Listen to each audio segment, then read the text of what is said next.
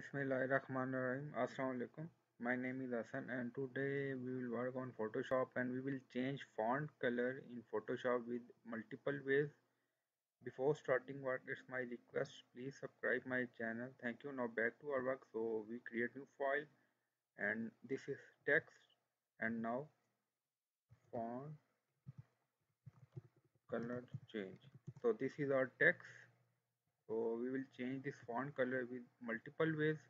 So now select this and here you, you see on top. So you can select color from here.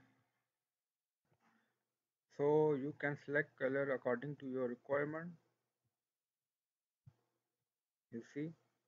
And this is first way to change color and another way is to change color through character panel. So this is character panel you see if your character panel not show then go to type and panels and then click on character panel. You see I already checked it. So now we, you see change color from character panel. This is second way to change font color through character panel. So now third way so now right click on it and you see blending option. And now you see color overlay. So through this you can also change font color. Here you see.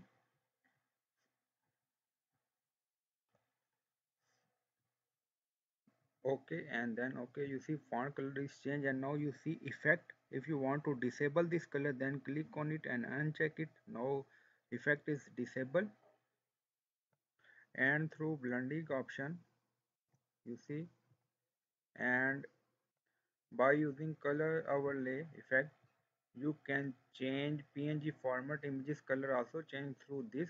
If you have any png image here then you can select blending option color overlay and then change the png image color from here. So in this way you can change font color in photoshop I hope you like this video. Please like, comment, share and subscribe. Thank you for watching.